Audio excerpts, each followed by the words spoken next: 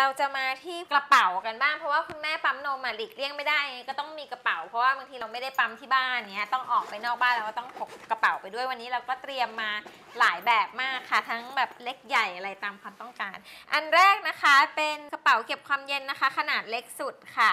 ตัวนี้นะคะจะสามารถเก็บความเย็นของขวดนม แล้วก็เก็บความร้อนของข้าวกล่อง เป็นโพลีเอสเตอร์ร้อยเปอร์เซ็นต์นะคะ จะมีช่องเก็บความเย็นทั้งบนทั้งล่าง แล้วก็มีสายสะพายให้ด้วยค่ะ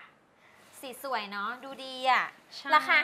590 บาทเองอะค่ะ ข้างล่างเนี่ยเก็บความเย็นของขวดนมได้ถึง 4 ออนนะคะ ได้ถึง 8 ขวด อันนี้นะคะก็เป็นจะเป็น ice pack คืออเราเติมน้ำลงไปในนี้นะคะ แล้วก็ไปแช่ช่องฟรีซค่ะ แล้วก็นำมาใช้ อ๋อ